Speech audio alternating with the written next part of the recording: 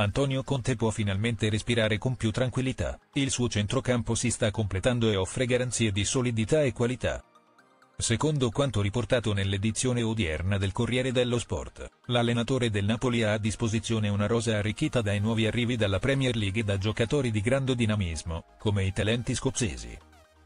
Anghisa e Lobotka al centro del progetto. Tuttavia, al centro di tutto ci sono ancora loro, Frank Dambo Anghisa e Stanislav Lobotka, colonne portanti dello scudetto conquistato.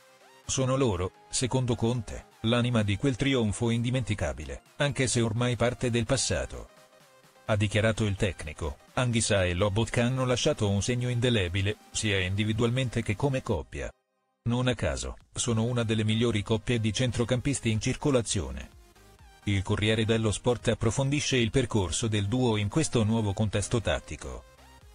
Il passaggio da una mediana a 3 a un centrocampo a 2 ha comportato qualche difficoltà iniziale, con prestazioni altalenanti, opache a Verona contro l'Ellas, più convincenti contro il Bologna, e difficili nel primo tempo contro il Parma, dove il Napoli ha sofferto la velocità degli avversari.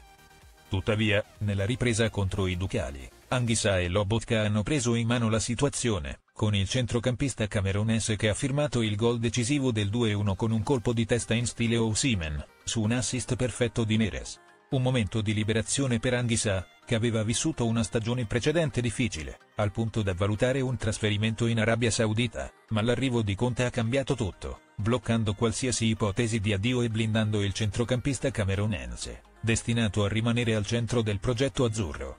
In conclusione, il binomio Anghisa-Lobotka è un pilastro fondamentale per il Napoli di Conte, che, nonostante le sfide iniziali, sta ritrovando la coesione necessaria per ambire a nuovi successi.